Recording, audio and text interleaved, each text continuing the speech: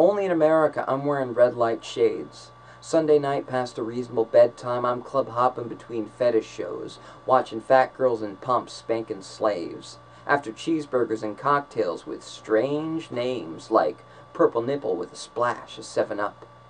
Only in America I'm wearing red light shades. I'm half crazed on unstable solutions at 1 a.m., stumbling the boulevard like a Rockefeller pimp in cheap sunglasses, tinted with a strange shade of red to show every city light, a sci-fi carnival, or a glamorous apocalypse. And I know I'm almost 40 and unemployed. Just another statistic in my generation of chaos, and although the priorities do not relate, I probably will not have it as well as my parents who don't even have it so good second mortgage out on the East Coast without a retirement plan, and I am the assumed prodigal son, only thinking 12 hours ahead of my life every day. Only in America I'm wearing red light shades.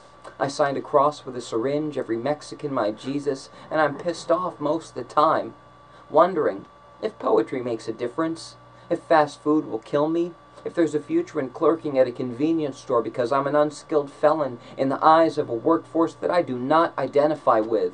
And the whole time, all I want to be is lost. Lost between moments of sleep and wake and work and paid and saving the money and loving and coming and making love with poetry.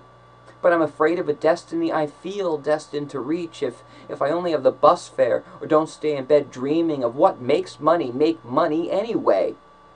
Only in America I'm wearing red light shades and I can't romance my way out of this one. None of my friends are Anais Nin or Henry Miller, nor am I. This isn't Paris in the 30s. Unprotected sex has consequence. Bread and wine is a passe sustenance, among other things like artistic ideals will sustain you.